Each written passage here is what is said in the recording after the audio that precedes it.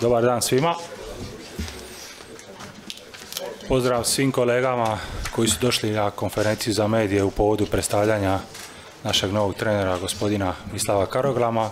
Karoglana. Pozdrav svim gledateljima koji nas gledaju uživo putem svih komunikacijskih kanala i našeg Hajduk Digital TV-a. S nama su danas ovdje predsjednik uprave gospodin Lukša Kobušić, sportski direktor gospodin Mindaugas Nikoličius i naš novi trener gospodin Mislav Karoglan. Kao što znate, sinoć je donesena odluka o raskidu suradnje sa trenerom Ivanom Lekon i dogovoren je povratak gospodina Mislava Karoglana kao novog trenera. O razlozima i svemu će govoriti predsjednik uprave i sportski direktor, pa evo dajem riječ predsjedniku Jako Vužiću. Izvolite.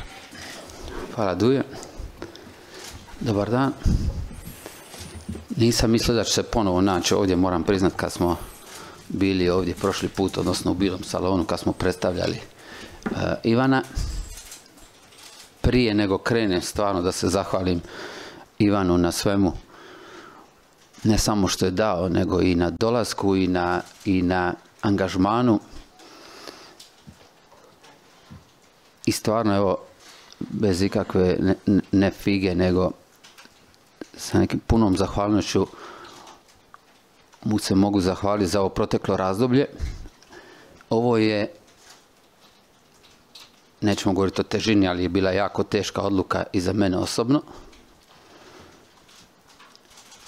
Tako da, e, to ja to nekako gledam kao i svojevrsni svoj poraz, ali baš zbog toga mislim da je ovo jedina ispravna odluka.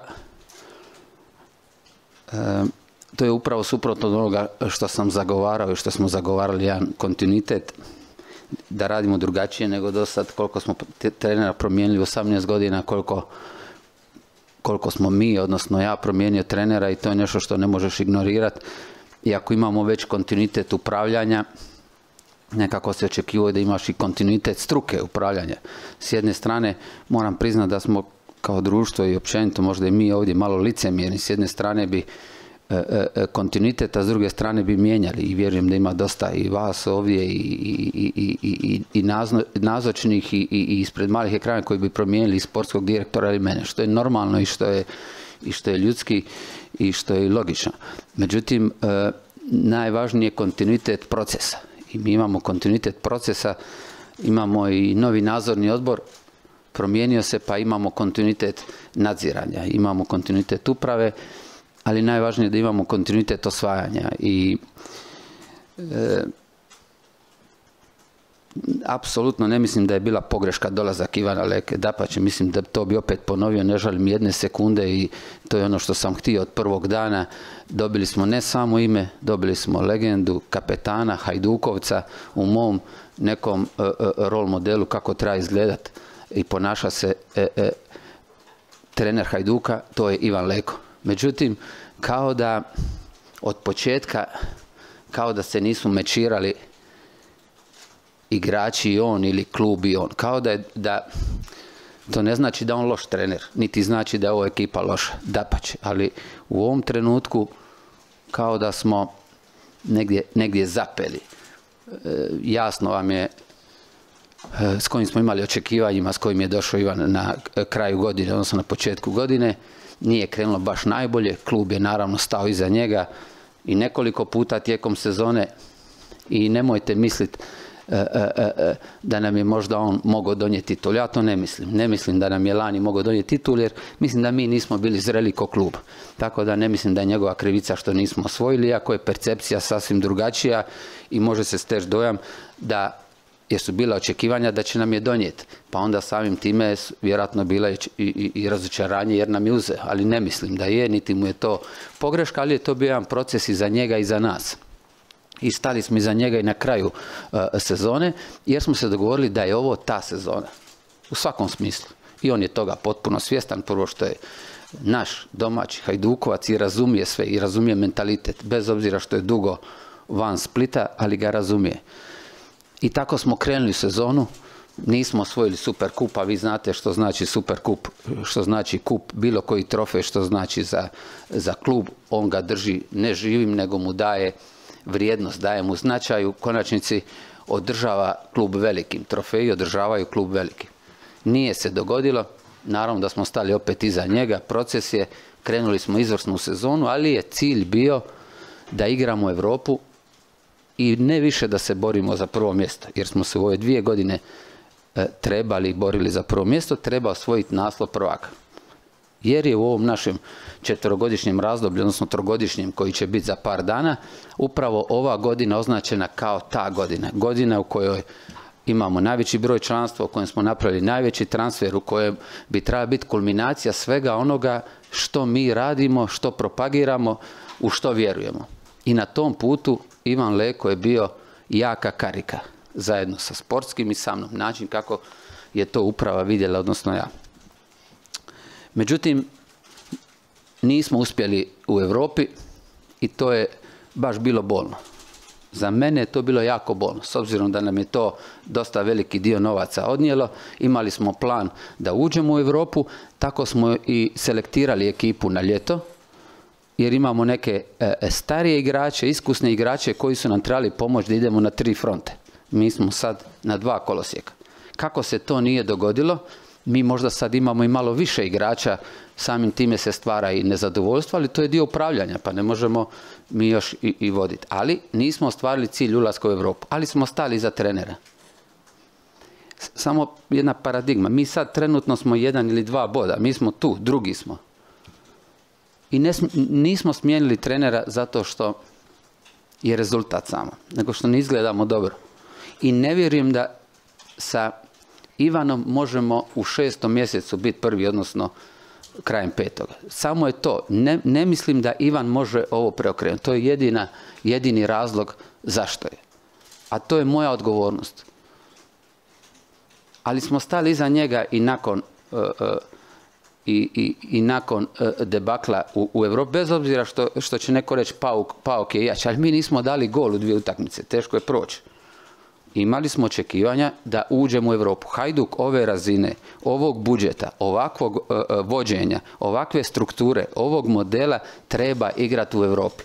To što smo, i, i pod mojim vodstvom ove dvije godine nismo uspjeli, dio je moje krivice i prethodnih godine koeficijent, ali najviše moje ove dvije godine jer su moja očekivanja bila da igramo Europu. Vjerujte da bi meni osobno bilo najlakše jer treba osigurati ta sredstva za preživljavanje, jer mi od lige ne zarađujemo, zarađujemo tek od Europe ili transfera. I kako je to ta sezona, ali baš ta sezona u svakom pogledu. Znači, igraće se i nakon Ivana, igraće se i nakon mene i 112 godina i bit će 112 godina. Ali nakon 18 godina, 19 neuspjeha, mi mislimo, uprava i niko, da je ovo ta sezona u kojoj Hajduk bi trebao osvojiti naslov. Ništa se neće dogoditi ako ne bude. Samo bit će neki drugi ljudi. Ali isto će život. Ali mislimo da je ta sezona. I zato je očekivanja javnosti i naša je najbolje da je to Ivan Leko i s njime. Imamo ime, napokon smo uspjeli sve posložiti. Dobru ekipu, mi smo u konačnici, e, mislim prije tri godine e, zatekli ekipu sa 19 milijuna eura budžetom. Sad e, možda nije najskuplja i najvrijednije, mislim da je 51 milijun eura možda i, i nije dovoljna za prvak, ali mi ne možete reći uz dužno štovanje prema Istri i Gorici da nismo bolji od njih. Ali ako već mogu i, i, i malo proširiti priču vezano za trenera, čak nije problem rezultata, mi smo tu bod. Mi u petak možemo biti prvi. Zamislite sad klub pravi ovakav rez u trenutku kad za 4-5 dana možeš biti prvi. Nismo peti, četvrti, pa, eh, jer ovo nije šok nije šok terapija. Samim time, e, kako nije šok, nismo ni posegli za nekim šok rješenjem. Znači, nismo išli ni u smjeru nekih drugih trenera koji su brendovi, koji su zvučnja imena, koji bi opravdali mene i Nika. Moram vam priznati da mi najlakše bilo da ostavimo Ivana. Ja s njim imam odličan odnos, odličnu komunikaciju, odgovara mi, on je brend, priča se o nogometu, to što je neuspješan, ja sam sa strane upravljanja sve napravio skandiraju njemu i plješću mu. Mene ne diraju, ovdje sam se tek sad pojavio nakon dugo vremena. Ali ovo je sve suprotno od onoga što mi odgovara. Jer izabrat Mislava Karoglana za trenera je sve samo ne populizam. To znači preuzimanje odgovornosti. Mi smo ovdje dovedeni da preuzimamo odgovornost. Može se i nama se na tjednoj bazi gleda e, jesmo li uspješni, gleda se na kvartalu, gleda se na dvije skupštine, ali će se prava mjera gledati u šestom mjesecu. Da li je ova uprava, ovaj sportski direktor uspješan ili ne. Da li su dva kupa e, e, dovoljna, da li su tri kupa i naslov, da li je dva kupa naslov uspješni ili nisu. Svak je dobar kad pođe, dok je tu niko ne odgovara. To sam naučio i ja ću vjerojatno biti dobar kad pođem. Ali je moje da preuzimam odgovornost. I mi to radimo. Dovođenjem, imenovanjem Mislava Karoglana, mi smo se ne izložili, jer mi smo izloženi. I nisam se nikad sakrivo i nije mi to dapače ali je puno lakše bilo dovesti nekog drugog. Zašto Mislav? E, ima malo veći uvod, tako da olakšam e, e, pitanja i da pokušam odgovoriti na sve što mislim da vas zanima javnost. Mislav je bio jedini kandidat. Jedini. Nismo s nekim drugim ni razgovarali iz razloga što sam malo prije ovo nije bio, ne treba šok, nego nam treba neki kontinuitet. Jer ne mislimo da je loša ekipa, niti mislimo da je Ivan loš trener, niti da je, nego jednostavno nije se uspio da potrebim strani izraz, mečirat e, sa ekipom. I u svemu tome treba nam neko ko može odmah doći, odmah uskočiti, ko pozna e, slačionicu, slačionica pozna njega, mi znamo njegov rad, vi znate da je e, Misla bio u dva stožera prije toga. Završili smo u Belupu, imali smo jedan drugačiji plan, i, i, i života i svega, ali što ti je život nakon utakmice u Belupu, stali smo sa strane i zbog Ivanovih e, e, mislavih privatnih e, razloga, znate svi, on će o tome govoriti, jednostavno smo kako je bila međunarodna, odnosno svjetsko prvenstvo, imali smo malo više vremena, odlučili smo pričekati mjesec dana, ali je struka, doktori sugerirali da da neko vrijeme se ne bi trebao baviti poslom kojim se bavi, odnosno da Ivan, e, Mislav, spominjem Ivana, Mislav je bio vrlo korektan, rekao je ne mogu u ovom trenutku dati 100% o sebi, možda nije korektno da nastavim. I to je, to je velika, velika odlika, u konačnici zato i tu. I ostao Ivan, e, e, a i Mislav u, u skautskoj službi do šestog mjeseca, ali je normalno kad imaš trenera, a mi imamo trenera, Ivan Leko je i brand i trener, da ide svak svojim putem i Mislav je krenuo dalje. Ali u tom trenutku su nam se putevi razišli, a nije nam to bio plan, ali nam je došlo u tom trenutku nešto što sam čekao dvije godine Ivan Leko. I zato mu se zahvaljujem što je došao, što je prihvatio, što je bez obzira kakav je trenutak bio za njega u tom trenutku, što je odlučio doći, znam kolika mu je volja, znam koliko želi, znam koliko je živio za ovo. I zato mi je još teže jer je stvarno živio za ovo i živio je za uspjeh. To ima i osobni razlozi, i poslovni, i privatni, i sve skupa. I njemu je teško, svi rastanci su teški. I, i suosjećam s njime. Vrlo. Ali i, i i Niko i, on će naći neki posao. Nogomet je iće dalje, premostit će, ide život dalje, nije niko bolestan i s te strane ovaj, to treba gledati poslovno. E, hoću reći da e, bez obzira što e, je bilo lakše ostaviti Ivana i pokušati se vaditi s njime, mislim da to ne bi bilo dobro i donijeli smo odluku o smjeni Ivana i još jednom mu se zahvaljujem. Ivan, Mislav nije najbolji trener na svijetu ali mislimo da je najbolje rješenje za Hajduk. Upravo iz razloga koje sam malo prije, e, e, malo prije nabrojio. E, mogu nešto reći, mislim da je dovoljno za početak. Što se tiče odgovornosti moje, pa apsolutno, ovo je preuzimanje odgovornosti, ne samo da je imam, nego ovaj klub i ovaj model upravo je savršen za ovakve stvari. Znači mi smo strukturirani, rekao sam toliko puta, toliko stabilni e, e, e, i strukturirani, bez obzira ovo je samo promjena trenera, ovo nije nestabilnost. Nije nestabilnost, je li stabilnost izgubiti od Osijeka? To je e, e, nestabilnost. Nije nestabilnost promijeniti ili mene ili nekoga. Mi imamo kontinuitet upravljanja, ali imamo strukturu gdje imamo skupštinu koja dva puta godišnje može razgovarati i smijeniti predsjednik uprave bilo koga. Imamo nadzorni odbor. I budite sigurni, možda ih vi ne vidite jer su diskretni, ali budite sigurni da rade dobro svoj posao i ako bude trebalo i ako vide da nisam na tragu kluba stabilnosti e, i napretka, da će me smijeniti ili se zahvaliti i trebaju. I budite sigurni da će to napraviti ako vide. Da li će napraviti, to vam je više pitanje za njih. Imaju priliku svaki dan. Skupština je u 12. mjesecu, e, e, vezano za ostavke i ovo, dok god preuzimam odgovornost, nema potrebe da i dok god se izlažem da dajem ostavke, ali mi mandat istječe sljedeće godine, tako da neće trebati ni davati ostavku ukoliko ne osvojimo naslov, a mislim da sam vrlo neuspješan ako ne osvojimo naslov. Vrlo neuspješan, bez obzira što budu brojke i što kasnije bude s protekom vremena. Jer mislim da imamo dovoljno kapaciteta, dovoljno znanja, mudrosti, da smo zreli kao klub na svim razinama da budemo prvi. Hoćemo li? O tom potom. Ali imamo potencijal za biti prvi. Međutim, pored nas i Dinamo želi jer ima i konačnici i, i kontinuitet, zna to raditi i veće su šanse logične da Dinamo bude prvi, ali i Rijeka ima ambicije. I nemojmo zaboraviti ni Osijek. Ne bi čak zaboravio ni Goricu da se niko ne uvrijedi.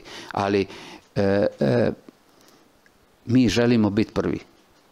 I sve osim ja ću reći duple krune. Men, kad sam došao, to, to vi ćete sad reći prič, nije bitno, ali mislim ako e, e, e, Hajduk treba igrati finale kupa i osvojiti naslov prvaka. Radi naroda, radi ljudi, radi ove nemoguće emocije i sto tisuća ljudi. Treba zbog kluba, ali najviše nama treba Europa.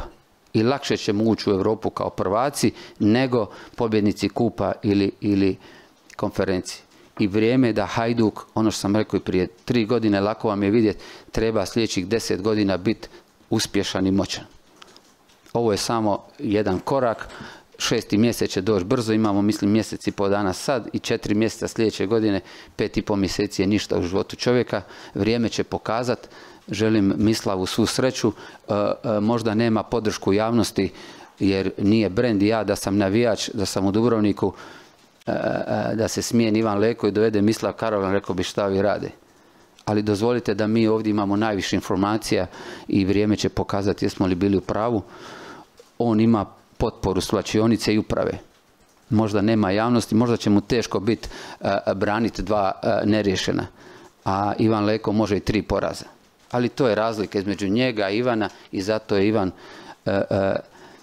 i toliko bio e, e, e, očekivan i zato je toliko smo možda svi skupa ovdje pod dojmom malo mi je žao i radi Mislava jer prošli put ga nismo ni predstavili, a sve je nekako u nekom tonu, bar s naše strane, odlaska Ivana, a ne dolaska Mislava. Ali opet ponavljam, mi smo preuzeli odgovornost njegovim dolaskom. Da je ovdje neki trener uz dužno štovanje koji je veći brend, opet bi mi bili dobri, mi bi se malo tu bavili e, e, financijama, marketingom i, i, tom lijepom pričom PR-ovskom, a neko drugi bi vodio. Ne, ne, ovo je baš suprotno. Evo, toliko za Hvala predsjedniku. molim sportskog direktora gospodina Nikolićisa da se obrati s par riječi. Dobar dan svima. isto bih želio zahvaliti uh, trener Leku i njegov stožer koji odlazi s njima za, za suradnju ovih 11 mjeseca kako znate, odlučili za, za promjenu i u ovom trenutku Mislav za mene bio jedini kandidat i jako dobro poznajem Mislava. Ja sam bio taj koji je promovirao njega u prvu momčad u stručni stožar prije sa drugim trenerama. Apsolutno vjerujem što on taj čovjek koji može povesti ovu momčad jako stručan, socijalno inteligentan i želim su sreću i njemu, i njemu i nama do kraja sezone. Hvala sportskom direktoru, evo, gospodinu Karoglanu čestitke na imenovanju i molim da se i on obrati s nekoliko rečenica. Dobar dan prije svega. Evo ja sam zahvalan prije svega Bogu uvijek prvom, a onda upravi po drugi put, drugi put biti trener mog najvećeg kluba na svitu ne mogu, ne mogu izraziti tu razinu zahvalnosti prije svega i časti i odgovornosti ko, koju osjećam. Danas sam nešto stariji, iskusni i, i neuspjesi određeni to čine boljim, jačim i, i, i ali s druge strane sam miran i, i stvarno ovaj, sa velikim guštom i nestrpljenjem čekam da, da, da, da se susretne s momčadi ponovo i, jedan put koji je bio dosta dobar, ja sam ga malo pocijenio, ali poslije sam vidio da je bio jako dobar i, i, i da ga nastavim i, ovaj, ja sam siguran i ovaj put da, da, da možemo biti jako dobri. Hvala gospodinu Karoglan. Evo, možete postavljati pitanja. Molim samo kolege da svak postavi najprije po dva pitanja, tako da drugi imaju ovaj prednost. Evo, gospodin Bilić, izvolite. Sam prvi pozdravljam vas u ovoj trenutku koji nikome nije drag ni dobar za predsjednika. Jedno pitanje za sportskog direktora. Predsjedniče, tri riječi koje ste rekli da se osjećate s lekom, da je ovo vaš poraz i da Hajduk će biti prvi. Ovo zadnje je najvažnije da Hajduk bude prvi. Ili ste bar imali promislili moralnu stvar da nećete nadzornom odboru, ja nisam više predsjednik, neću biti predsjednik Hajduka, iako ste rekli da nećete podnijeti stavku. Ovaj, e, prvo, mislim da nisam rekao da ćemo biti, nego da bi željeli biti, da nam je to cilj. Teško je to obećavati, ali bi stvarno htio i, i rekao sam da ću, da ću ja biti neuspješan ako ne budemo prvi, bez obzira što svi ostali segmenti kluba rade. Kad dođete negdje, preuzimate odgovornost. A vi ste me e, e, pitali, ja mislim prvi dan kad sam došao ću dati ostavku. Znači, pa je to malo sad, e, sad ima e, težinu, onda je bilo malo to ovaj, iskarikirano, ali, ali razumijem vas. E, ali isto malo ono što sam rekao, malo prije možda licemjerno s naše strane, da zagoramo kontinuitet, a u ostalome tražimo smjene. Ali sam vam rekao, on ima jedan alat koji je vrlo moćan a to je da me smijene, ne trebaju mi tražiti. Pa e, da ja čekam e, ostavku Ivana Leken možda nikad ne bi doživio. I, I imamo stavke u ugovoru koje mogu biti takve da odgovara svima status quo, da ne mijenja ni on ni mi. Košta i jednog i drugog ali se nismo vodili s time. Jeftinije bilo ga ostaviti i lakše. Tako da mi smo preuzeli svoju e, odgovornost, isto tako i nadzorni odbor treba preuzeti odgovornost ili skupština, jer ako skupština misli da nadzorni odbor ne radi dobro, rekao sam ovaj model je najbolji za ovo funkcioniranje. I, kad, i vjerujte, kad ne bude mene, bit će neko drugi, isto će biti kontinuitet. Jer kontinuitet nije vezan za osobu.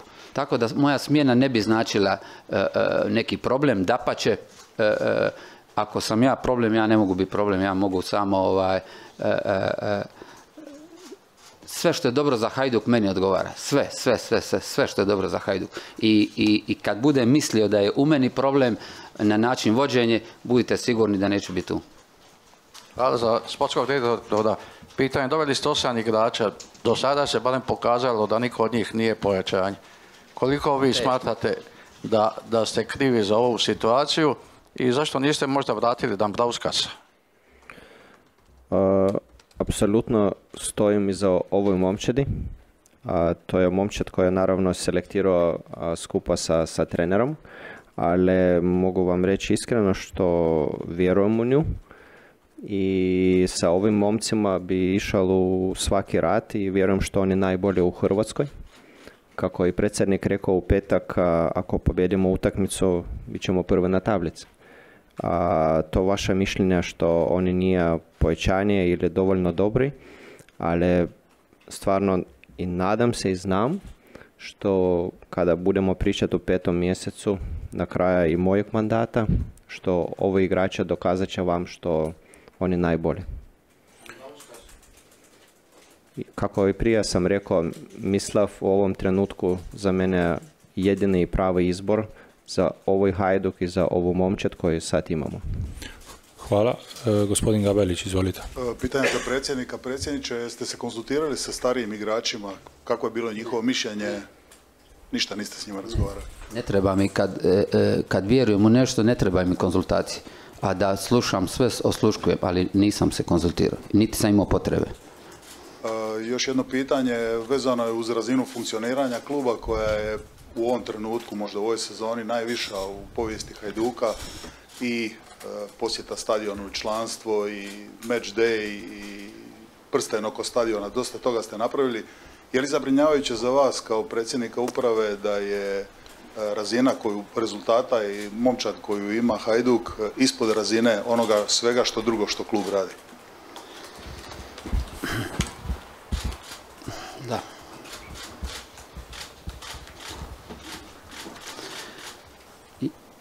Ovdje je najvažnije što je na terenu i to sam davno shvatio, što je na terenu. Ali kad sam došao prvi dan, rekao sam svim suradnicima i direktorima, ako nije teren najbolji, ako nije ako ne da trener sve od sebe, ako ne da igrač sve od sebe, ako se izgubi, ne znači da u drugim segmentima ne trebamo biti najbolji. Tako su se svi direktori i članovi uprave postavili. Svaki član uprave i direktor radi najbolje što zna. Ne možemo njih kriviti zato što rade svoj posao izvrsno. I ne mislim da ih krivite, ne, pohvalili ste, ne, ne, hoću reći, ne možemo e, e, e, to što su oni najbolji samo stvara još veću razliku između jednog i drugog, ali u ovom klubu u ovom gradu je najvažnije što je na terenu prve ekipe. Imali smo lani situaciju da smo i dalje bili dobri, ali su nas izvukli juniori. Imali smo jednu jako lošu situaciju u drugom i trećem mjesecu kad smo otrali za prvaka, gdje, gdje smo malo posrnuli, ali su nas izvukli juniori, akademija, ali u ovom trenutku i ova sezona, kao sam spomenuo, je ta. I ona isključivo ovisi o prvoj ekipi. Kad je dobro prvoj ekipi, kad je dobar rezultat, onda je sve dobro. Trener bivši trener je lijepo rekao na jedno od zadnjih presica kad smo dobili Dinamo, ovaj tjedan e, će svi više voliti svoje žene, svi će biti zadovoljni i to je onaj utjecaj Hajduk. I ja bi volio da je bolja situacija, ali nije toliko loša koliko ispada, zato govorim nije ovo šok. Pa mi smo e, drugi, u borbi smo za prvo mjesto. očekivanja su naša da, da budemo prvi nakon rijeke, da dobijemo. Pa su očekivanja bila zbog drugih rezultata da budemo da budemo prvi. Druga je stvar što smo mi sad trebali biti možda malo više dole jer su i drugi postrnuli. Ali slažem se s vama, to što je klub na svim razinama dobar ne znači da, da e, e, ne znači da oni ne mogu biti dobri i niko im ne brani da budu dobri. klub će biti dobar i velik kad e, bude dobra i prva ekipa. I cijeli naš fokus u ovoj sezoni je na prvoj ekipi. Ako mislite da se bavim marketingom ili s ničim volio bi da ste malo više u klubu da, da vidite s njima. Moj cijeli fokus je na prvoj ekipi da budemo prvi. Jer sve drugo funkcionira. Stvorili smo tri godine da funkcionira i marketing i prodaja. E, e, kad smo došli, mislim, nije to sad tema, niti ste me to pitali, ali mislim da smo imali milijun i četiristo prodaju e, u, u šopu, danas imamo šest milijuna eura. To je veći proračun nego što ima pola klubova to što smo izvrsni u drugome, samo je obaveza njima da budu izvrsni u tom dijelu. I kad se dogodi ta jedna, neću reći eksplozija, ali kad se dogodi i taj rezultatski e, e, ta kulminacija na terenu koji je u konačnici jedino bitno je teren i prva ekipa. Mi se veselimo juniorima jer su bili loši seniori, ali de facto je najvažnije u Hajduku je najvažnije da se pobjeđuje. To sam već jednom rekao. Nakon što se pobjeđuje, najvažnije da se dobro igra. Nakon što se dobro igra, najvažnije da igraju naša djeca. Ako smo sve to zadovoljni, naćemo mi nešto četvrto. Ali hvala na pohvalama, e, e, e, mjerit će se ova sezona samo prema rezultatu prve momčadi. Hvala gospodin Mari Maljković, pa gospodin Antonije Juričić. Predsjedniče, za razliku od vas ja ne bi smatrao da neosvajanje prvog mjesta bi bio vaš neuspjeh jer na rezultat na terenu utječe puno stvari, ali sama činjenica koliko je bilo trenerskih rošada u tri godine vašeg mandata je li ovo vaš zadnji potez? Je li Mislav Karoglan zadnji trener u vašem mandatu? Ja bi volio. Ja bi volio, ali ako bude mislio da e, je on ključ taj koji nam treba da e, osvojimo ili da je on ta prepreka, neće se libiti ni, njega promijeniti do šestog mjeseca. Onda će vjerojatno i mene, jer neće ni trebati. Ali ja sam potpuno drugačiji nego što sam sad ovdje i potpuno drugačije imam nego što se događa. Nisam naviko na smjene. Iz kluba iz kojeg dolazim imamo kontinuitet i kad vidite na koji način radimo, to sam htio prenijeti ovdje. Ali ovdje je bitno pobjeđivati. I bitno je da vjeruješ u ono što... Ja sam vjerovao i vjerujte mi da sam vjerovao u Ivana. Rekao sam nakon što je završila predstav s Ivanom Lekom, rekao sam, baš sam sretan. I zbog tebe i zbog sebe. Zbog sebe jer se više neću mora pojavljivati na presicama. I bio sam uvjeren da će Ivan ostati do kraja. Uvjeren, uvjeren. Neko će da sam malo duže čekao. To je možda dio jega, jer je to dio mog neuspjeha, pa smo čekali malo duže, pa smo imali jedan razgovor nakon sezone, pa ja se nadam i, i, i ideja s Ivanom je bila da Ivan ne samo da bude zadnji meni, nego da bude prvi sljedećemu i da bude i dalje, da bude kontinuitet i da ostavimo i klub i trenera i sve ostalo. Ali se nije tako razvilo. Nadam se da, e, e, da će biti, ali ako bude za prvaka trebalo napraviti još neke rezove, budite sigurni da ću ih napraviti. Hvala treneru, čestitke na povratku na klupu Hajduka i želim vam da ostanete ovako s nulom u rubrici poraza s kojom ste i, otišli. E, što možete promijeniti? Čeka vas pet utakmica u 16 dana, počeši od Slaven Belupa u petak. Što možete promijeniti? Kako napraviti prije svega efikasniji Hajduk? Imamo 13 postignutih golova, Osijeko ima tri boda manje, ima 26. I ako može još jedno, vi ste bili taj koji ste gurnuli roka sa Pukštasa u prvotimca. Imate li još neko rješenje? Hoćete li još jednog, još nek, ponekog dragulja promovirati? Pa dobro, e, apropo prvog pitanja, evidentno je da, da postoji određeni problem efikasnosti, to je u kreiranju šansi. E, imamo gust raspor, rekli ste, i, ali neću ovaj put sam se zaklao nikad reći čega nema. Samo ću pričati čega ima. Ima svega, imamo, imamo najbolju ekipu, i, i samo me zanimaju oni koji vjeruju da smo najbolji. To nosi puno, to nosi puno odgovornosti, to moraš pokazivati svaki dan na treningu i, i u tom smjeru ću, ću, ću ovaj, razmišljati. Imamo i 25, 28 igrača, svi su, svi su prvotinci, svi imaju legitimno pravo se pokazati.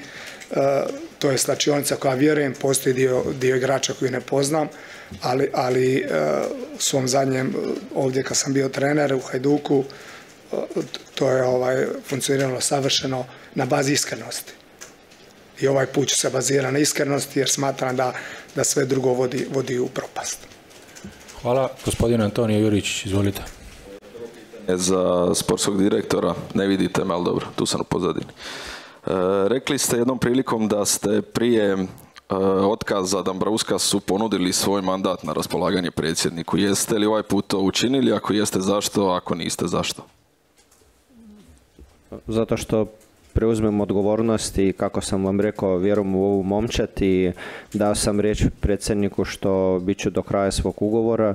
Naravno, kako i predsjednik rekao, postoji procedura, ako neko misli što ja sam problem utjek ovoj momčadi, rezultatu i tako dalje, oni, oni mogu preuzmiti uh, rješenja za to, ali kako i prije rekao, ovo je i moj projekt i moja momčet i tri sam godina radim na tome i vidim napredak i stvarno vjerujem što možemo biti prvaci i to je to jedini cilj i idemo u to. E, pitanje za predsjednika sad. E, rekli ste da stvari sa gospodinom Leko nisu kliknuli od početka, ali da ne smatrate da njegovo dovođenje bila pogreška. Što onda mislite da Hajduk kao klub ima sad do 10 mjeseci pod Ivanom Lekom u ovom trenutku? Pod Ivanom Leko, nisam vas razumio sve. E, e, prvo nisam rekao da nije kliknuo, nego da se nije mečirala ekipa sa Ivanom, je li? Tako. A što ste me pitali, možete li ponoviti koji kontekst, što deset mjeseci? E, kažete da to nije bila pogreška, a sad on više nije trener. Da, da, I sad kad sve zborimo i oduzmemo šta ima klub od ovih deset mjeseci? Ima iskustvo. Imamo presicu kad nešto radite, ne vidim vas, pa, pa možete molim vas da vas vidim, jer mi je lakše kad vam govorim da vas vidim, jer mi se čini kao da zidu govorim, a gdje ste? E, molim vas. E, radi se o tome, e, Antoniju, da e, kad nešto radite, onda morate biti uvjereni u to. Ja sam, ništa ne radim u što ne vjerujem i nisam uvjeren. I to može biti pogreška. I, ali je, ideja je da priznaš pogrešku, kreneš dalje.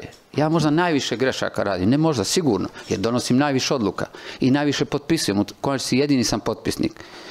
Sve što je dobro, svi smo zaslužni, što je loše, zna se ko je. I ne bježimo od toga. Dovođenje Ivana Leka je sa svih strana bila opravdana odluka. Prvo, bila je moja želja i to je nekako i legitimno da ima. Drugo, ima ime. Kapetan je, legenda i po svim parametrima, a u konačnici vidjeli ste na koju je, kako je to zazvonilo krajem godine. I ušli smo i on i mi u to otvorena srca. Ali se nije razvilo kako treba. U nekom momentu dogodi se da dvoje ljudi, da li su parovi, da li su poslovni partneri ili su e, jednostavno ne uspiju ostvariti taj kontakt koji se čini. Ja i dalje s njime imam odličan odnos. Lijepo se gledamo, lijepo razgovaramo, vidimo imamo iskren, otvoren odnos i nemojte misliti da ovo preko noći. Mi smo komunicirali cijeli ovaj proces i nakon Istre i Gorice i sve skupa. Ali jednostavno nije se dogodio neki klik između momčadi koji mislimo da je dobra i njega kao trenera. I to je trajalo neko vrijeme. I on se iskorigirao puno više nego što bi se trebao iskorigirati nego što bi neko drugi. I donijelo je njemu iskustvo i nama. I nekako smo propatili tih pet mjeseci i stali iza njega. Znači imamo tih pet mjeseci iskustva i on i mi. Krenuli smo, iako sa nekom određenom sumnjom, možda što se tiče igrača, što se tiče njega, javnosti, u novu sezonu. Malo smo patili jedni i drugi, što zbog rezultata. I očekivanje njegove naša su velika i javnosti. Svak bih htio da Hajduk u ovoj godini sa rekordnim brojkama i sa svime najboljim, sa Ivanom Lekom to osvoji. Ali u jednom trenutku se dogodi da morate staviti sa strane, da imate činjenice i da morate donijeti jednu odluku koja je potpuno suprotna onome kako ja, kako ja to vidim. Ja bi to trebao gura do kraja, jer je moja ideja. Znate kako kad dođete, kad ste dugo negdje, onda idete, pa je stvar ega, pa ideš, ideš dokazati, ali ne ide. Vidiš da ne ide. Znači, Imamo Ivana Leka koji vjeruje i dalje, dobar čovjek, izvrstan stručnjak i volio bi da se u nekom obliku kasnije vrati kao trener e, u nekom periodu i ostvari sve ono što nije uspio. Konačno on se ostvario i kao kapetan i kao igrač i e, radio je trofej, on je uspješan. On, nije on neuspješan što nije uspio. Ovo je više stvar neka osobnog nezadovoljstva jer mu tu žive roditelji, tu je i, i, i zato mi je žao da se nije. Znate, kad neko umre, najgore onima koji ostanu. Najlakše onemu ko pođe. Mi smo dobili jedno iskustvo gdje lani nismo bili zreli, ali vjerujem da s ovom promjenom koja je, e, koliko je bilo očekivano da smijenimo, toliko je bilo neočekivano da dovedemo Mislava. I očekuje se ako već e, radimo gradaciju, da dovedemo nekog trenera koji će, kralj je mrtav, živio kralj koji ćemo dovesti koji ćemo zamijeniti Ivana i dati. Ovo je nešto sasvim drugo. Pokušajte vi u svom poslu ili nečem drugom napraviti ovaj jedan drugačiji, drugačiji e, e, potez. E, da li smo u pravu ili nismo, pokazat će šesti mjesec. Kad gledam u kontinuitetu, puno stvari bi ja promijenio. Volio bi da imam neku britkosko na početku, ali kad već imaš neke rezultate i sve ovo je Hajduk, da mi je privatni klub, ja bi s njime poginuo jer bi se družio, jer mi bilo dobro, ali ovo je Hajduk. I donosim e, e, odluke koje su u interesu Hajduka. Ne znači da su dobre, ali vjerujem u njih. Tako i vjerujem kad je dolazio i bio sam uvjeren da je to ta sezona s njim. Zašto sad u ovoj fazi? Zato što ne mislim da ćemo na kraju biti prvi. Možda ćemo i dobiti Slaven, možda ćemo dobiti e, Jadran iz Ploča i sve, ali i da dobije on dvije, tri utakmice, meni ne bi promijenilo a ovo je vrlo teška funkcija, nezahvalna. I moraš vjerovati u ono što radiš. A ja stvarno vjerujem u ovo što radi. Ako nije dovoljno, zna se kako to ide. Evo, u konačnici ja donosim, donosim odluke. Evo, pokušao sam odgovoriti malo šire, ali e, e, dobio i on iskustvo. U konačnici dobio i Mislav iskustvo u Hajduku tri mjeseca. Ali mu je najveće iskustvo e, e Istra. Na, to je najbolja stvar što mu se dogodila. Tako da e, e, vjerujem da ovaj dio koji nama ostaje, koji nismo planirali, da će, da će konačnici biti dobar. Jer vjerujem, ako ne bude, pa u konačnici bitno je da daš 100% od sebe, da sve daš od sebe, a mi svi dajemo 100%. I ne mislim da trener nije dao prošli, da pa će dao je. Ali ne ide. Kad ne ide, ne treba forsirati. Evo, ne znam sam uspio odgovoriti, ali sam se potrudio. Gospodin Antonijević. Dobar dan svima. E, predsjedniče, čestitam na samokritici, znači ovaj, stvarno ste preuzeli odgovornost. Sami ste na neki način potvrdili da je Leko bio vaš izbor e, i u jednom trenutku ste u jednom odgovoru rekli kako je vaš potpuni fokus na prvoj momčadi, a da ovo, ovaj dio marketinga, financija i ostaloga prepuštate drugima. E, osim što preuzimate odgovornost i samokritični ste, ćete nešto naučiti iz toga. Je li možda vaša funkcija zapravo takva da se možda i ne bi trebali baviti prvom momčadi, jer ako su ovi ovako uspješni, bez da se vi miješate u njihove odluke, je li to možda ovaj... Razumijem. I vas i sarkazam sve mogu razumjeti. Ne, nisam Idem reći drugo. Znači, apsolutno, predsjednik Kupre je odgovoran za sve. Hoću reći da smo u tri godine postigli e, e, e, takvu, e, neću reći simbiozu, ali možemo i tako reći sa, sa nekim odlukama koje su bili teški. Nemojte zaboraviti da smo ukinuli drugu ekipu, da smo e, e, prekinuli suradnju sa Crofan Shopom, da smo donijeli neke odluke i marketinške i sponzorske koje su potpuno krenule i trend, ali za to je bila da stabiliziramo klub. Nama su se rugali preko onih, svako malo smo imali rugan. Bilo nam je bitno da stvorimo Hajdu koji je opet moćan, ali u smislu moćan da nam se ne rugaju, ne trebaju nas voliti, ali da nas poštuju. I u tom E, procesu trebalo je sve segmente kluba riješiti. Ja se ne razumijem u nogomet. Ja to rećem da se ne razumijem u nogomet, ali će neko reći ne razumijem se ni u financije, ne razumijem se ni u marketing. Isto tako, a vi ćete reći da se razumijem u marketing, a nisam završio za marketing, nisam ni za nogomet. Odakle mi legitimitet da se bavim marketingom ili financijama ili skarifikacijom terena e, za koju me pitaju hoćemo li raditi. Odakle mi... E, zato što sam odgovoran i moram imati odgovor na sve. Kad rečem da se bavim prvom ekipom, hoću reći da smo uspjeli postići takvu razinu rada na svim segmentima, da je ova godina ta u smislu ono što je gospodin Gabriel rekao, da i na terenu je bitno da klub bude velik u svakom smislu. A to znači da igramo Europu i da smo prvi. Ne bavim se prvo niti govorim ko će igrati niti kako će igrati. Možda bi trebao ko neki drugi predsjednici, ali e, mislim da sam jednom ušao u slačionicu samo i to nakon Slaven Belupa lani, kad, kad je, ne znam, kad je bilo prije dvije godine, više da ih tješim. Nikad nisam ušao jer to nije moje. Čak ne idem na treninge, ne spavam s njima, ne družim se, ne želim biti blizu njih. nije lako kad si predsjednik Hajduka, bilo ko od sto tisuća bi htio biti uz Livaju, htio bi popiti onu kavu, vidjeti ga kakav je, dat mu besu. Teže mi je ne biti s njima nego biti. Ali ne želim jer upravo ali to ne znači da ne održavam odnos. Baviti se prvom ekipom znači da znam što je u ovom trenutku bitno za klub, za navijače i za sve nas. A to je da Hajduk bude prvi u seniorskom. I cijeli moj fokus rada je u tom smjeru. A možda ste vi u pravu kad se sad prestanem baviti, možda krene i tamo pa, pa ne znam što bi onda radio. Ali Može, ne znam, mogu bi odgovoriti sa drugo pitanje je zapravo i za sportskog direktora i za trenera.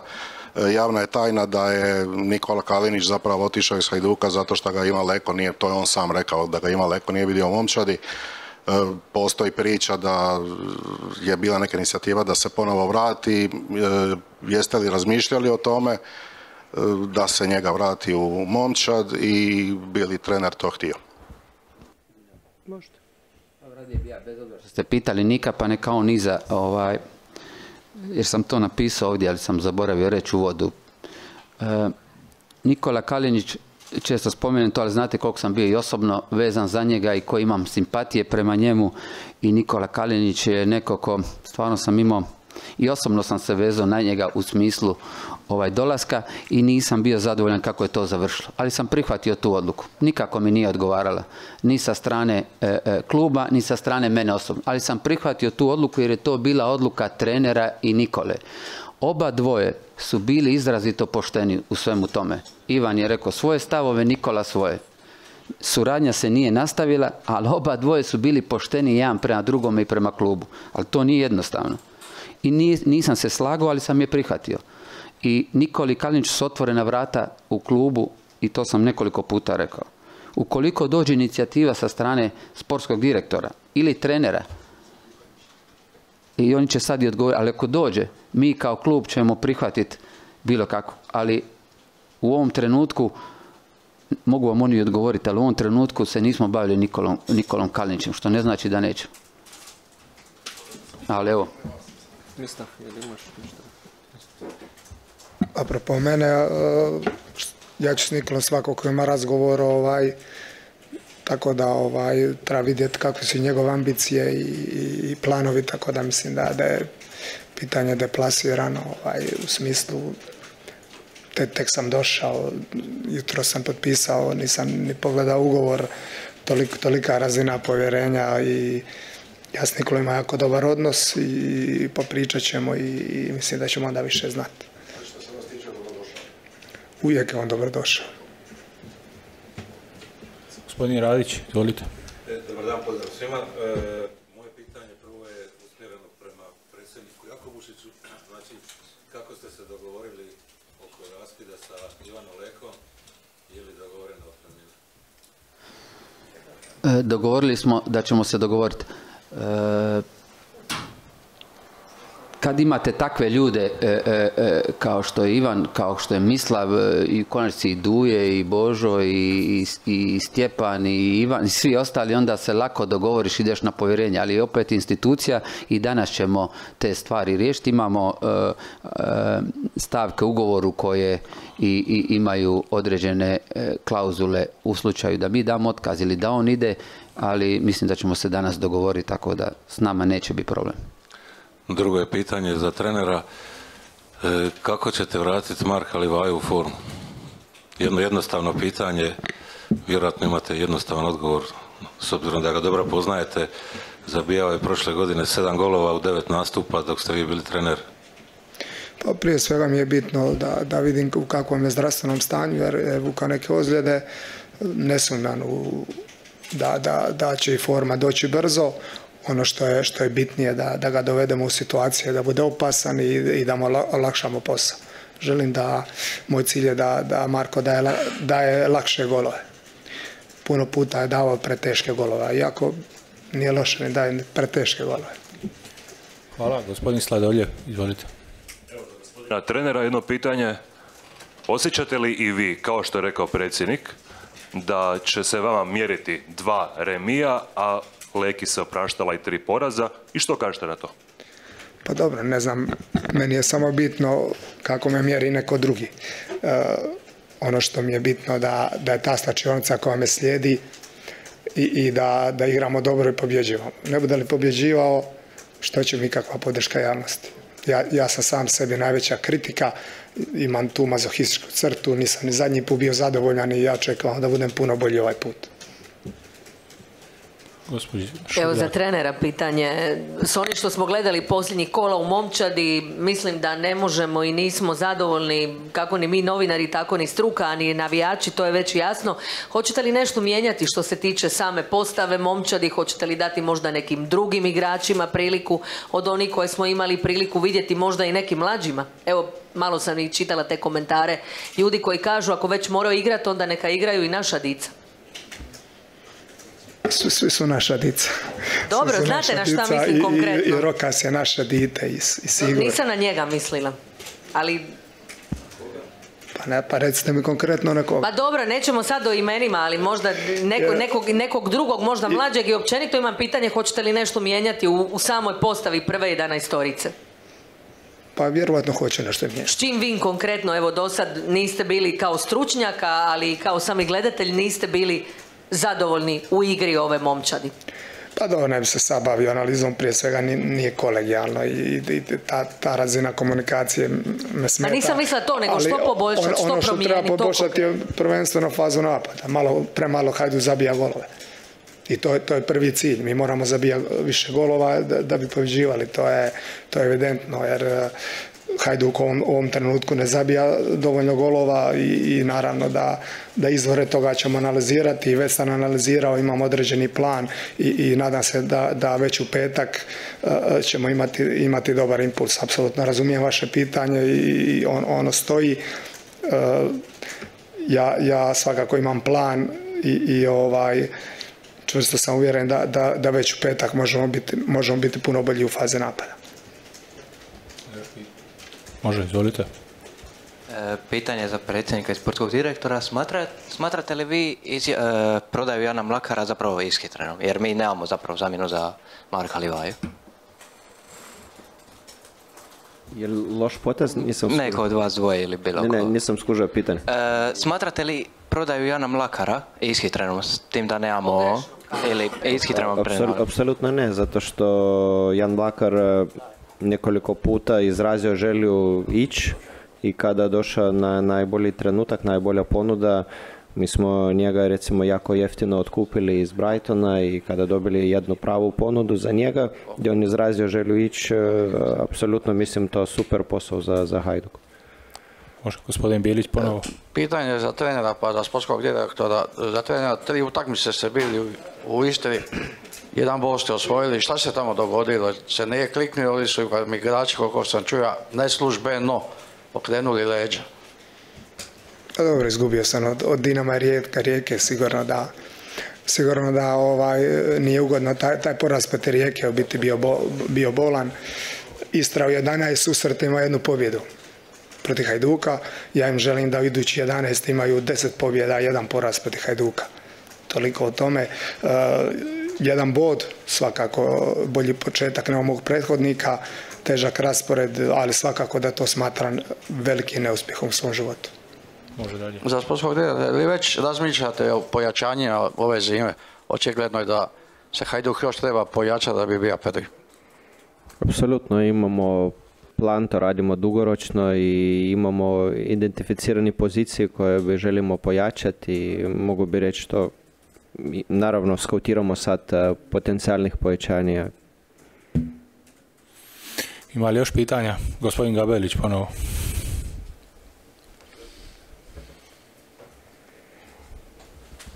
Evo za trenera Mislava Karoglana, e, sami ste sad ponovili, a rekli ste to i prije šest mjeseci, ako se ne varam, ili kad ste, kad ste bili u mandatu da Livaja daje teške golove, da mu trebaju ostali olakšati. Šta se može učiniti po tom pitanju? Konkretno, iz te momčadi više nema nekih igrača koji su tada e, igrali, koji su participirali više u napadu. Sad su tu neki drugi igrači. Koga vidite možda u toj ulozi?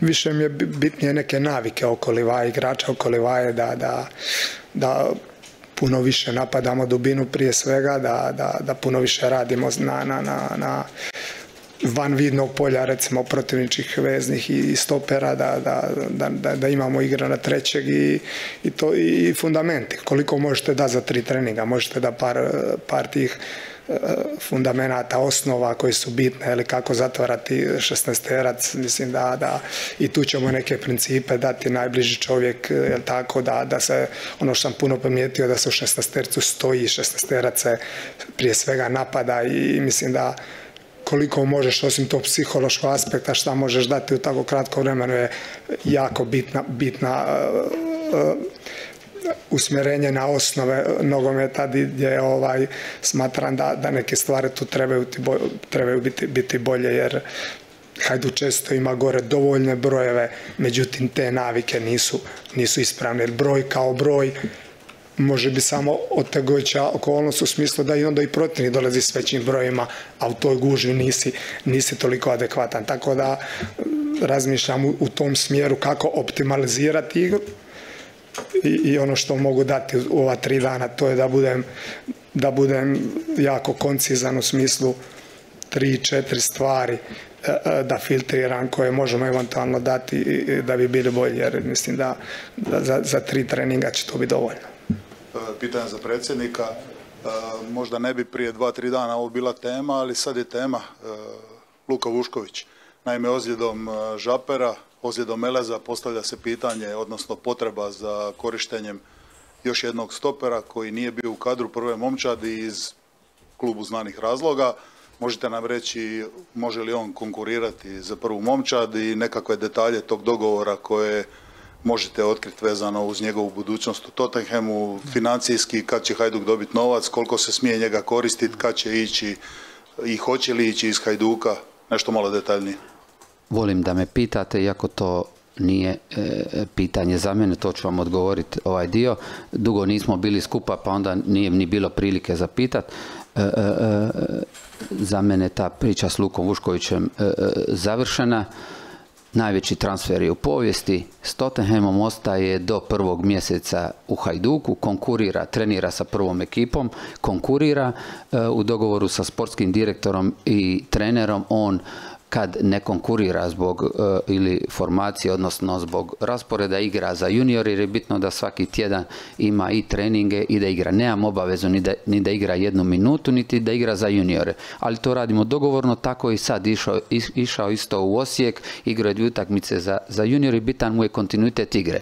Do prvog mjeseca, onda ćemo zajedno s Tottenhamom dogovoriti gdje ide na gdje ide na posudbu jer treba zbog e, e, dolaska u Englesku ipak zbog skupljanja bodova radne vize negdje e, odraditi posudbu u nekoj drugoj zemlji. Jeli? Tako da on bi, plan nam je neki do prvog mjeseca da je Luka Vušković s nama. Ideja je tad bila da vratimo Prpića sa posudbe u Radomlju koja čini mi se do prvog mjeseca. To je ideja, on konkurira, to je pitanje za sportskog direktora i za trenera, on ga ima u kadru, može ga koristiti, dapače, nema nikakvih ograničenja. Ovo drugo smo već prošli tu temu kad je, kad je bila aktualna. Još jedno pitanje za trenera. E, gledajući sad momčad koju ste ostavili kad ste odlazili i momčad koju sad dobijate natrag, specifična težina po imenima, po kvaliteti, šta vam se čini koja je momčad bolja? Ona je bila najbolja, ova mi se čini još bolja. Kažem, imam veliki respekt prema onoj momčadi, a, a ova, ova mi se čini po imenima, po imenima i, po izvedbama određenih igrača još bolja. nije niko govorio, pretpostavljam da ćete reći nešto o stožeru, ko će biti članovi stožera? Mene pitate, ali tako? Pa ja sam taj koji, koji, koji slaže stožer, niko drugi. E, stožer će biti kompletiran dobrim dijelom danas, ali do kraja tjedna, to jest do, do utakmice s Belupom će biti do kraja kompletiran. E, imat ćemo nekih promjena u, u stožeru. Hvala gospodine. Evo ja ću još samo pitanje za predsjednika, meni ga je drago pitati i čujem njegove lipe odgovore. Predsjedniče, ako Hajduk bude prvi, ja se nadam ćemo napraviti prvi, to je cilj. Hoćete nakon toga ostao Hajduka ili ćete slavodobitno otići? Nisam, e, ovdje se stava fokus, nisam uopće bitan ja, ovaj, e, meni istječe mandat i davno sam rekao da bi negdje, mislim, pitali ste me prije 10 minuta e, jesam ne ponudio ostavku, a sad bi htjeli da ostanem. E, e, mislim, ako, već nisam pošao da onda ostanem, ali dobro, možda ne treba ni jedno ni drugo. Da bi ostali negdje, neko vam mora i ponuditi nešto. I to nije pitanje za mene. I pustimo šesti mjesec će vrlo brzo doći i, i izdržati tri godine na ovoj funkciji E, e, je, nije malo. Meni se čini kod cijela vječnost i, nije jednostavno. I kad god pođem neće me niko unesrećiti, neće mi biti, e, rekao sam, kogod pođe dobar je. Ali dotad imamo svoj put, potpuno smo fokusirani na klub i na to. A što će se dogoditi? Možda i za Božić ne budem tu. Hajduk je čudan, danas i ovdje, sutra nisi to je razlog zašto smo ovdje i ja dijelim sudbinu cijelog kluba, sad i upravljam, ali neko upravlja i sa mojom sudbinom. Pustimo šesti mjesec i doći to brzo. Gospodin Maljković. Ja ću se još kratko vratiti na temu ovaj, Luke Vuškovića, predsjedniče. E, srušen je rekordni transfer koji je dotad držao Nikola Vlašić u mandatu jednog od vaših prethodnika. E, novac od transfera Nikole Vlašića nije, donio, nije iskorišten da bi Hajduku donio neku dodanu vrijednost. Došli su neki igrači od kojih Hajduk na kraju u principu nije imao ništa. Hoće li novac e, od transfera Luke Vuškovića biti iskorišten pametnije? Hoće li ja mislim da je za stvaranje novih vrijednosti. Ja, mislim da i taj novac koji je došao iskoristen pametno, jer onaj ko upravlja, bez obzira u kojem vremenu dođe, iskoristi ga na ono što treba. Jeli. Druga je stvar što bi javnost htjela da iskoristi na pojačanje. Ako je najveći rekordni transfer, ne znači da imamo toliko novaca za pojačanje. Kad bi vam samo rekao koliko smo uložili ove godine u prsten, koliko smo uložili u neke druge stvari. Činjenica je da Hajduku treba otprilike 10 milijuna eura godišnje dodatnih prihoda. 10 milijuna eura može se nadoknaditi transferom od 10 milijuna sa, sa, sa dva od, od četiri, jedan od dva, ili se može ulaskom u Europu. Ako uđete u, konferenciju, to je mislim 2,94 plus nešto, to je 3,5 milijuna, znači treba 6,5 transfera. Mi ove godine nismo ušli u Europu. Molim? Hoćeš, nismo ušli u Europu. Mi trebamo 10 milijuna nadoknaditi za tekuće. Mi imamo proračun 29,5 milijuna eura vrijednost ekipe 51. Kako mi to možemo? Mi, sad možemo prodati Pukštaša ili Sigura ili Sahitija, bilo koga koji ima vrijednosti, mi smo kupili godinu dana, imamo mir. Narodu, navijačima ne odgovara da je meni mir i da je meni dobro. Njima odgovara da je što bolja i konkurentnija ekipa. Ali dovođenjem ovakvih igrača koje smo e, doveli, ako će, da ne budem po imenima, govori da smo se pojačavali. To što ih uspijemo dovesti za, nula ne znači da manje vrijede. Neke smo i plaćali, neke smo i dovodili. Naša obaveza što bolje utroši taj novac, ali da uđemo u ligu prvaka i da imamo viška novac, ja bi najradije volio uložiti u terene, u infrastrukturu da napravimo kamp. Ali to je obveza lokalne samouprave. Ali Hajduk se bavi kisikom, trebamo kisika na dnevnoj bazi. Tako da ovaj iznos koji smo dobili za luku, prije svega e, e, dugoročno raspoređen, dio je, je u tekućoj godini i treba nam za normalno funkcioniranje. Ali da smo prodali još pukštaša za rekordni transfer, e onda smo imali dodatno novac. Ali to ne znači da nećemo uložiti, da nećemo naći sredstva, da nećemo biti konkurentni. Evo posljednje pitanje nakon sat vremena konferencije za medije, gospodin Gabelić. Pa možda da se, da se vratimo malo na teren, što je u stvari najbitnije, pitanje za trenera. E, sustav, hoćete li nešto mijenjati u sustavu? Vi ste imali jednu naviku, neko je, vrlo slično i završio ovaj mandat u sličnom sustavu. Je li se tu nešto mijenja? Pa dobro, nije sustav koji definira, ali je bitan. Svako ko kaže da nije bitan, bitan je, ali ono što mi je puno bitnije da, da taj set principa u nekom određenom vremenu usvojimo i, i na to sam baziran i, i ovaj, treba puno je, jako je bitno primjerice jel igrate s jednom šesticom ili dvije vjerovatno na, na, na to mislite to, to prvenstveno i, i, i, i, profil igrača koji je tu jer nije isto kad, kad ti tu, tu igra X ili Y i, i ovaj, to su stvari koje su puno bitnije od, od same strukture, ali, ali ono, ono što je bitno to su principi i dinamika igre u tim principima. Evo, hvala svima nakon sat vremena koji su sudjelovali na konferenciji za medije, hvala svima koji su nas pratili, hvala predsjedniku, sportskom direktoru i treneru Karoglanu što su strpljivo odgovarali na vaša pitanja. Hvala. Doviđenja.